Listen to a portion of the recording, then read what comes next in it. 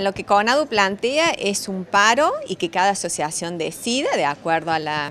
forma de trabajar de, cada asociación y también de las universidades, trabajar internamente en las universidades. Eh, la mayoría, después cuando se hizo todo un relevamiento de cómo trabaja, cómo ha llevado a cabo los paros en las otras universidades, era trabajar en conjunto con los distintos claustros y trabajar lo que es la problemática de la mujer, puntualmente dentro de la universidad, cómo es el lugar y cómo es, qué es lo que está atravesando la mujer en las instituciones universitarias.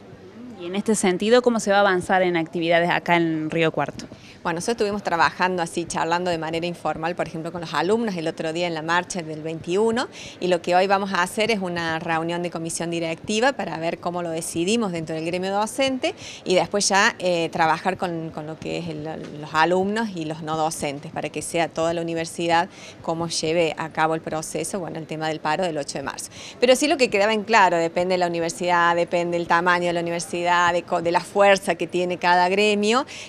cada institución planteó distintas alternativas y que nos vinimos con todo ese bagaje de experiencias para ver, bueno, cómo lo podemos hacer. El año pasado en sí se decretó como un asueto y se, se realizó, bueno, se participó de la marcha. La idea es hacerlo más activo y que se note realmente el paro de las mujeres el día 8.